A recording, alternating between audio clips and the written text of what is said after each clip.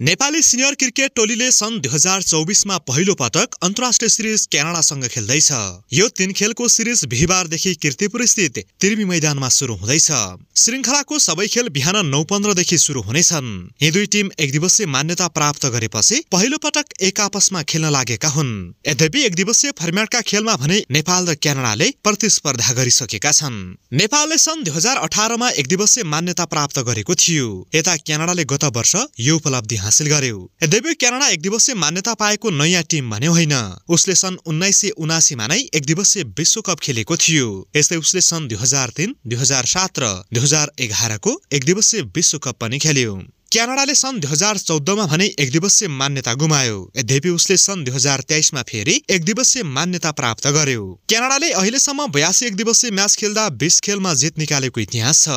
उसले भारत बाहेक सबै टेस्ट मान्यता प्राप्त देशसँग क्रिकेट खेलिसकेको छ। यता नेपालका लागि ओडिआई खेलमा क्यानाडा तेह्रौं प्रतिद्वन्दी हो। यसअघि नेपालले बाह्र एक दिवसीय टिमसँग उनासाठी खेल खेलिसकेको छ। जसमध्ये नेपाल तीसमा विजयी र सत्ताइस खेलमा पराजित भएको विगत छ। नेपालको एक खेल बराबरीमा सकिँदा एक खेल रद्द भएको रेकर्ड छ। यसै नेपालले हालसम्म test team Bharat Pakistan Ireland West Indies र जिम्बावेसँग एक एक एक दिवसीय म्याच खेलेको छ। जसमा नेपाल सबै खेलमा पराजित भएको छ। ओडिआई खेलको पहिलो भेटमै नेपाल क्यानाडालाई हराउँदै सुखद सुरुवात गर्ने सोचमा छ। घरेलु मैदानमा खेल्न लागेकाले पनि नेपाललाई त्यो उपलब्धि हासिल गर्न सहज हुनेछ। यता क्यानाडा नेपाललाई घरमै स्तब्ध पार्दै इतिहास रच्ने दाउमा छ। उसले हालै मात्र हङकङ र मलेसियासँग एक दिवसीय सिरिज खेलेको थियो जहाँ क्यानाडाले तीन खेलमा जित निकाल्यो।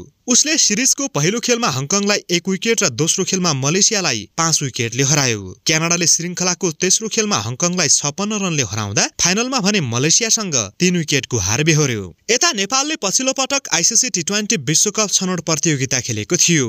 गत नोभेम्बरमा खेलेको उक्त प्रतियोगितामा नेपालले पाँच मध्ये तीनमा जित र दुई खेलमा पराजय बेहोर्यो त्यसका बावजुद नेपाल प्रतियोगिताको फाइनलमा पुग्दै दोस्रो पटक टी ट्वेन्टी विश्वकपमा छनौट भयो। नेपालले क्यानाडा विरुद्धको सिरिज सिरिजमा केही प्रमुख खेलाडीलाई विश्राम दिएको छ।